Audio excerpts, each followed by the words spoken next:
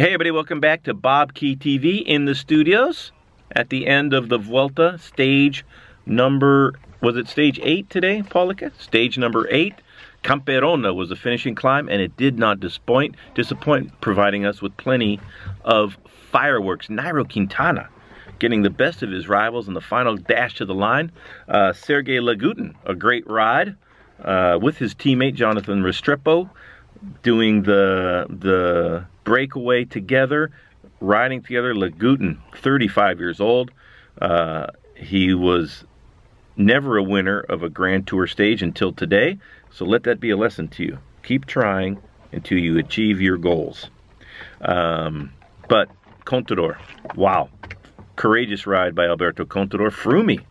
You know, usually the first mountaintop finish, like real mountain finish, in uh, the Tour de France. Froome romps and stomps everybody. That's his modus operandi. That's his template. And he's used that to great success, winning the Tour de France three times. That was not the case today. It was Quintana that did that. Uh, Quintana back at his best. Uh, Valverde is teammates in second place in the overall standings. Contador is going to be a force to be reckoned with.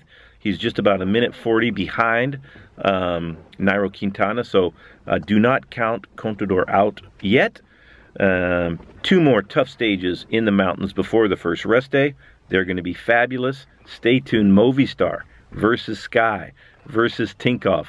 Esteban Chavez lost a little bit of time, but Orica is still right in there. Chavez fourth so far in the overall standings, and uh, the Vuelta has been great so far, and it's going to continue to scintillate. Quintana back as the best climber in the race today. We'll see how that goes for the rest of the Vuelta with Quintana. All right, everybody, thanks a lot. Subscriptions critical. Um, thanks for the comments. Follow me on Facebook and Twitter. You can buy some t-shirts if you like. If you like these, how about a thumbs up? Thanks, everybody. Until tomorrow.